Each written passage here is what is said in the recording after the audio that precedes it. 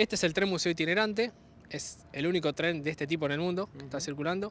Es una formación de nueve coches, de los cuales eh, ocho son para la visita al público, después tenemos uno que es servicio interno, en los cuales se desarrolla un museo lineal, ¿sí? en cada coche tenés una actividad distinta, tenés este, desde lo que son actividades para los niños, eh, los primeros coches del programa Recreo, después tenés un coche destinado a lo que es este, trenes turísticos y parques nacionales, tenés el tren presidencial, donde viajó Juan Pablo II y es destinado para el presidente, lo que será el OF, el Tango 01 para los aviones, un coche que está desarrollado para televisión pública, tenemos eh, elementos de radio nacional y de televisión pública, las cámaras del 78 donde se filmó el Mundial, equipos, bueno, a la gente que le gusta lo que es la parte audiovisual le, fascina, un lugar donde se pueden sacar fotos y simulando que es una cabina de transmisión de, radio.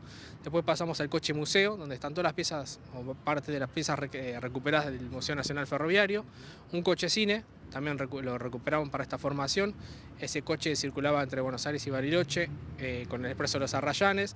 Se filmó la parte de la película del profesor patagónico con Luis Sandrini. Después tenemos el coche bar, el que tenemos a nuestras espaldas, donde circulaba entre Buenos Aires y Mendoza en el expreso Los Arrayanes. Y bueno, finalmente un furgón este, de servicios. Eh, me decías que en pocos días o en pocas horas realmente ha venido mucha gente. Digamos, sí, sí, hasta ahora llevamos casi 400 personas.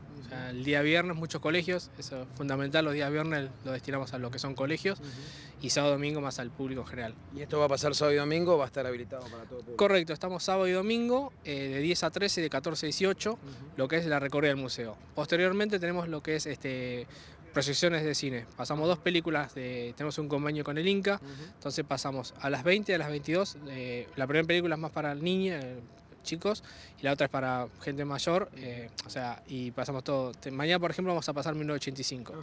Después tenemos, y Mete, Metegol 1985. Después, bueno, se acercan ese día, tenemos una capacidad de 60 butacas, que es lo que tiene el coche cine, y se acercan a la entrada y bueno, ahí tienen la, pueden obtener las entradas, que es totalmente gratuito, como todo el recorrido. ¿Se van incorporando elementos o digamos ya se ha establecido la, mayoría ya en el museo?